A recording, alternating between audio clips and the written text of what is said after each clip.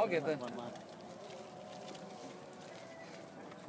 Pak terkait dengan Bapak tadi kan sempat keliling eh, wilayah yang terdampak banjir. Iya. Berapa Iya, dari siap, data yang secara keseluruhan berapa sih Pak?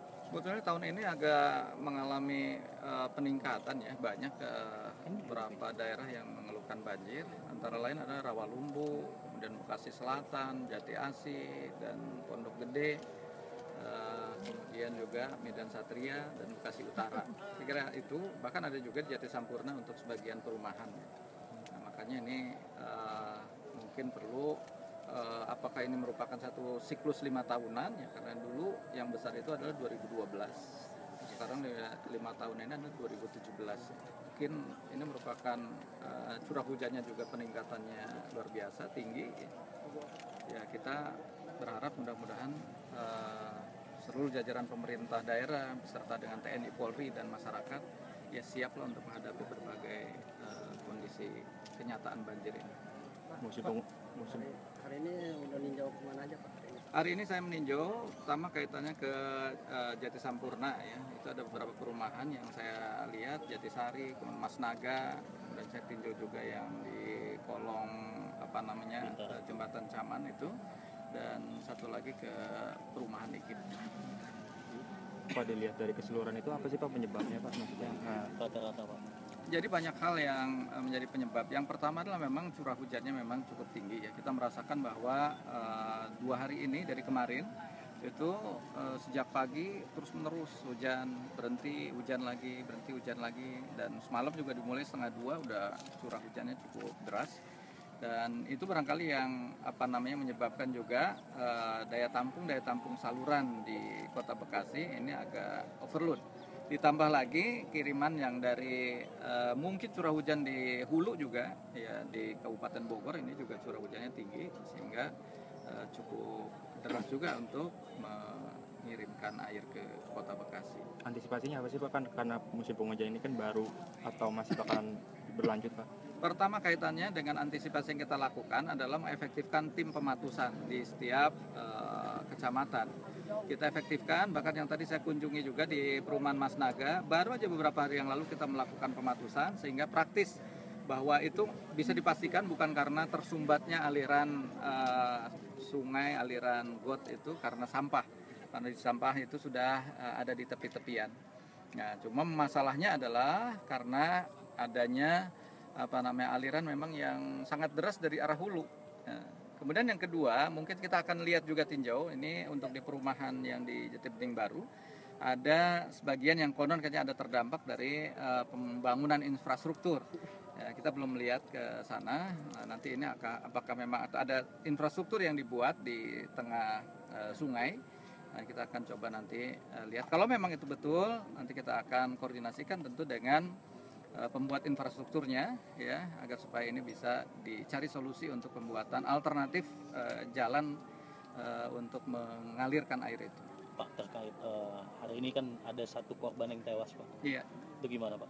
Ya tentu pertama saya juga eh, merasa prihatin dan mengucapkan turut bela sungkawa pada orang tua korban. Kebetulan beliau juga ada tadi menyaksikan proses yang sedang kita lakukan evakuasi terhadap korban ini. Eh, memang sejak awal kita persiapkan tandon air ini adalah untuk penanggulangan banjir. Sehingga tandon seluas 1,6 hektar ini memang dipersiapkan untuk penampungan sementara air ketika curah hujan tinggi. Nah, sebetulnya ini sudah safety-nya sudah kita pasang ya apa namanya pagar-pagar seng yang ada di sekeliling eh, tandon air ini. Ya, cuma dalam proses perjalanan mungkin ini banyak yang kemudian seng-seng ini apa namanya terbuka dan akhirnya anak-anak eh, masuk ke lokasi tandon air ini. Ke depannya Pak. Ke depannya kita akan coba rapikan kembali ini dan kemudian kita sudah beri peringatan juga sudah di beberapa tempat untuk jangan eh, masuk ke dalam area ini karena ini berbahaya. Kedalaman ini juga cukup dalam 8 meter sehingga kalau anak-anak praktis yang nggak bisa berenang dan dalam keadaan panik saya yakin juga akan sulit untuk bisa menyelamatkan diri. Yang kedua anak-anak ini juga sudah diberikan peringatan oleh RW ketika dihimbau oleh RW nah, mereka kucing-kucingan dengan RW akhirnya ya inilah kondisi yang eh, terjadi maka saya menghimbau pada para orang tua agar supaya memperhatikan anak-anaknya. Pak ini Dan- termasuk udah dalam darurat bencana atau belum Pak? Kota Bekasi Pak dengan kejadian ini Pak.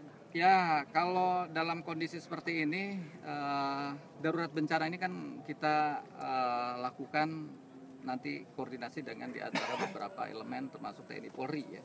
Nah, kita belum menyatakan ini sebagai darurat bencana karena memang ini masih kita bisa coba atasi bersama-sama. Nah, kalau nanti kondisi memang semakin eh, kritis, sekarang juga kita melihat masih beberapa tempat yang saya datangi juga evakuasi terhadap korban banjir juga masih belum banyak. Masih mereka eh, tinggal di rumah-rumah mereka bertahan, hanya kita suplai logistik untuk eh, konsumsi mereka.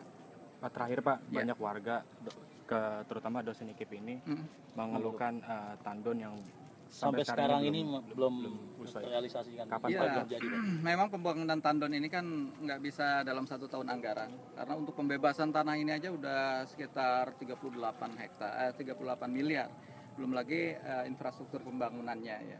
Nah ini dengan dana yang besar itu tentu kita perlu beberapa tahun anggaran. Nah inilah makanya kita akan lanjutkan kembali pada tahun ini juga pembangunan tandon air ini. Harapannya tadi bahwa kita justru ingin menciptakan tandon air ini untuk penanggulangan bencana banjir. Yang kedua, dalam kondisi-kondisi tertentu mungkin kita bisa manfaatkan untuk wisata air, untuk apa namanya wisata keluarga dan sebagainya. Memang dalam kondisi yang seperti ini kita belum sempurna ya. Eh, Kita akan coba tuntaskan, mudah-mudahan tahun ini bisa lebih rapi seperti halnya di tandon air yang di galaksi dan sebagainya. Pak satu lagi Pak, Iya. itu di Jalan Kemang Sari Raya itu banyak sampah-sampah yang kalau musim kering aja airnya meluber ke, ke ke jalanan gitu sehingga kalau musim hujan airnya tumpah ke jalan yang tadi masuk gang itu gimana antisipasinya? Eh, saya minta nanti tim pematusan untuk mencoba menelusuri itu Kemang Raya Jalan Kemang Sari Raya. Jalan Kemang Sari, iya, Jadi di Jatimamur ya? Iya, tumpah masuk ke dalam Iya. jalan eh, Sakra ini. Jadi saya minta nanti eh, UPTD Pondok Gede, UPTD-nya eh, lurah nanti disampaikan. Sebelahan Jati Asih sama Pondok Gede. Iya, Itu satu lagi Pak. dekat pompa bensin ya. Ya, satu lagi Pak, kalau di depan itu kalau saya lihat Pak, jadi eh, banjir itu disebabkan karena air masuk sama air keluar nggak balance Pak. Hmm. Air masuk cepat sekali, air keluarnya di pintu utama itu terhambat itu. Gimana upayanya Pak?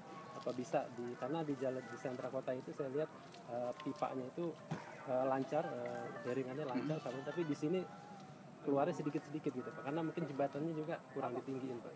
Itu barusan jembatannya ditinggikan. Kemudian mungkin ada hal yang mungkin masih eh, apa namanya tanah atau lahan yang masih belum lurus untuk di daerah setelah sentra kota. Nanti kita akan koordinasikan menjelang masuk ke Jati Bening itu ya. Baru karena nggak nggak ngalirnya nggak lancar gitu. Itu Iya. penyebabnya gitu ya. Ya, kita coba koordinasikan lah dengan beberapa pihak. Terima kasih Pak. Oke. Terima kasih semua ya. Assalamualaikum.